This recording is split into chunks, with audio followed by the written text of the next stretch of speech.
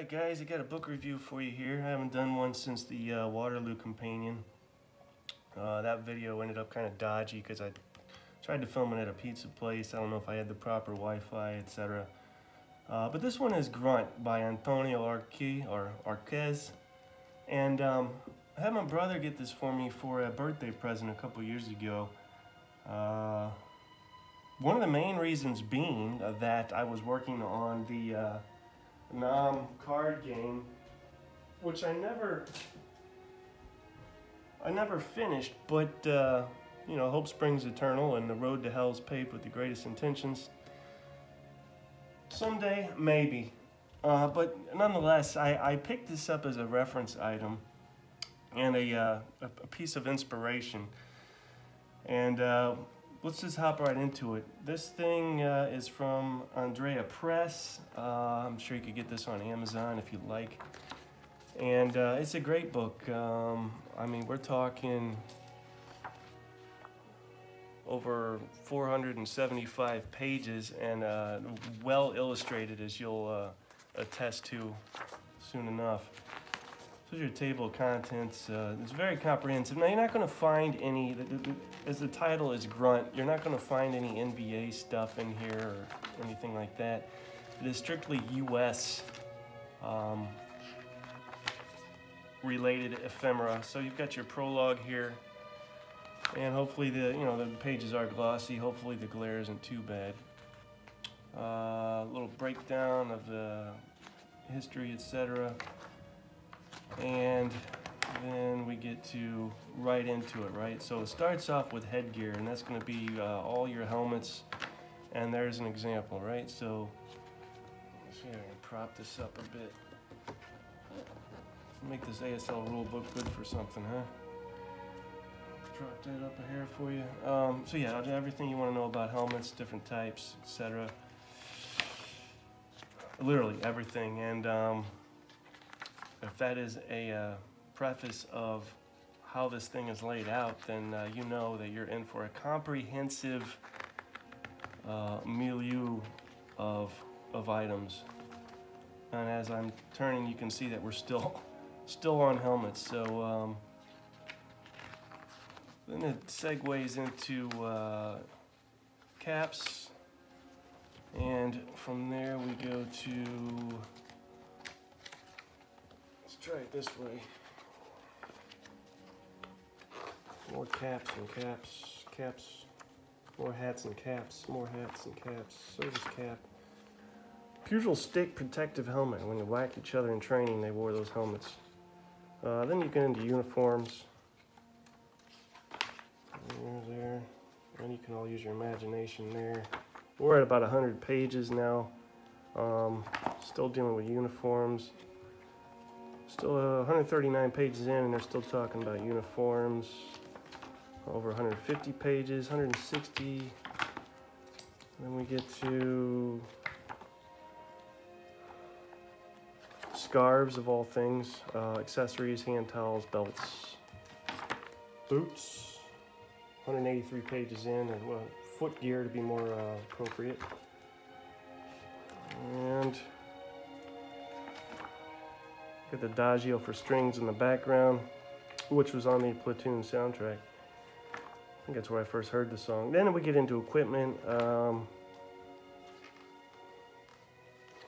belts, suspenders, field pack suspenders. I had an ALICE pack in the back in the day. I don't know what happened to that thing. Canteen, canteen covers.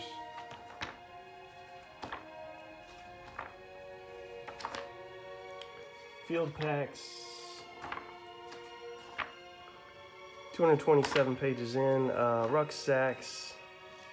What's our early pattern?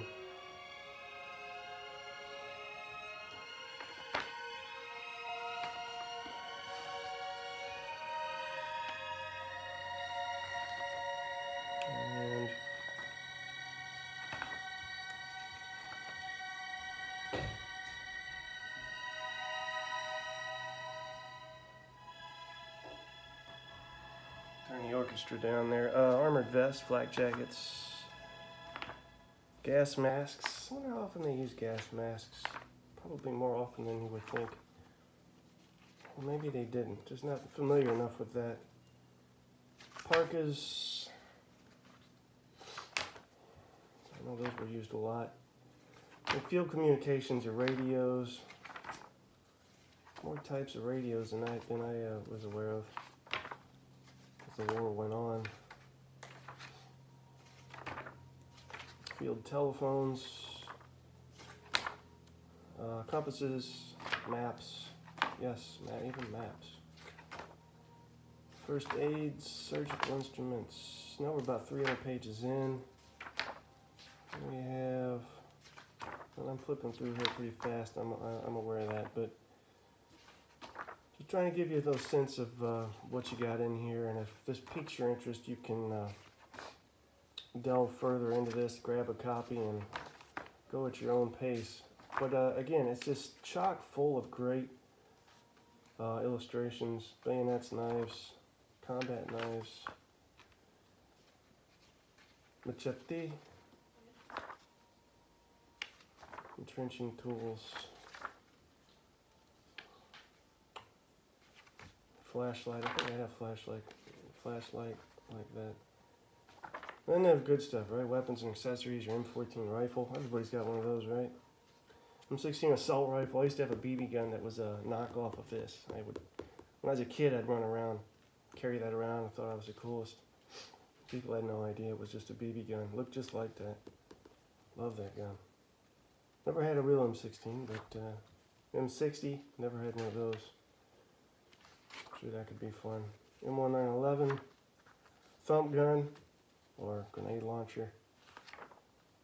M72 LAW. It's all standard stuff here. Hand grenades, claymores, commercial in the background because you're supposed to be buying stuff all the time according to uh, our culture. What else we got here? Vests, ammunition bags. Now we're about 375 pages in.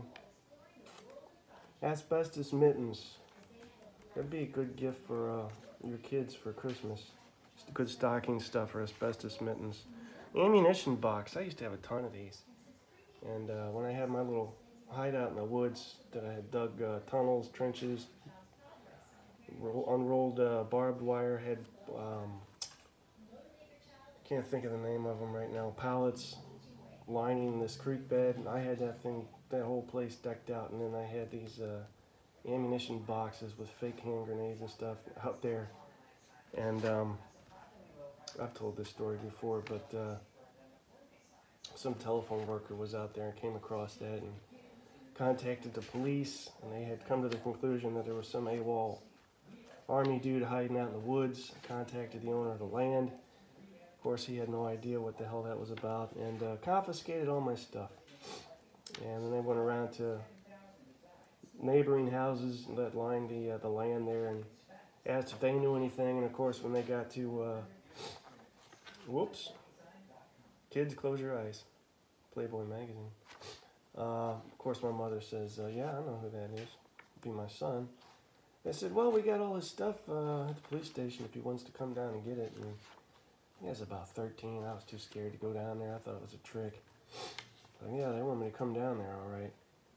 So all that stuff uh, was disappeared for me, unfortunately. Wristwatches, uh, waterproof matchbox. My dad gave me one of those. Padlocks.